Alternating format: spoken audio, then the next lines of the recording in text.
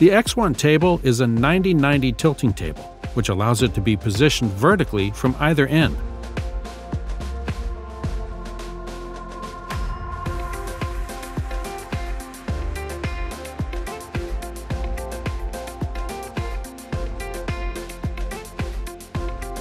The table boasts a robust 500 pound weight limit, allowing for all movements, and a static weight limit of 650 pounds.